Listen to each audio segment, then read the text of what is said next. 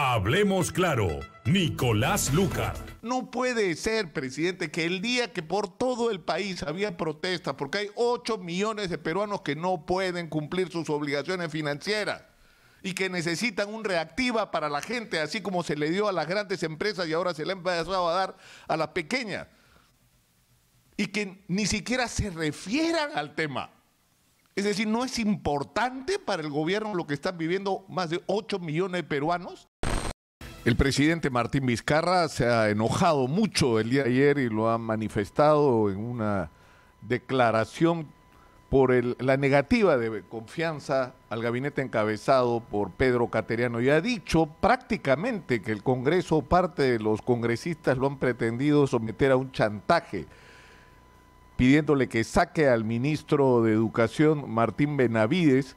Y lo que habría detrás de esto lo que sería es eh, la pretensión de traerse abajo la reforma educativa. Probablemente haya congresistas que tengan eso en la cabeza, pero los problemas con, el ministro Martín Benavides, más allá de los conflictos con las representantes de universidades que han perdido el licenciamiento, es un problema con los ciudadanos. O sea, los peruanos queremos un sistema educativo eficiente y que merezca el encargo de atender la educación de nuestros chicos. Y lo que ha pasado cuando el ministro hoy, Benavides, estaba en SUNEDU, es que hubo un hecho discriminatorio a las filiales de UTP, grupo universitario ligado al Intercorp, es decir, al Interbank, se le dio el licenciamiento cuando todos los indicios señalan que no debieron dárselo porque no cumplían los requisitos. Y peor aún en el caso de la Universidad Peruana Alemana, ligada originalmente al Grupo del Comercio. Nunca había funcionado y tiene tres aulas y le dieron el licenciamiento. Tener una licencia universitaria en el Perú vale millones de dólares. Y tienes que cumplir requisitos que esa pequeñísima universidad no cumplía. Es decir, no hay una correspondencia. Pero en fin, ese es el asunto que tiene que ver con su SUNEDU y que no significa traerse abajo el, gran proyecto de reforma de la educación universitaria en el Perú, que tiene que seguir adelante. Pero el otro problema mucho más serio con el ministro Benavides es el tema de las tablets. ¿Quién es responsable de este fiasco donde estuvimos a punto de darle a una empresa minúscula una inversión gigantesca de cerca de mil millones de soles?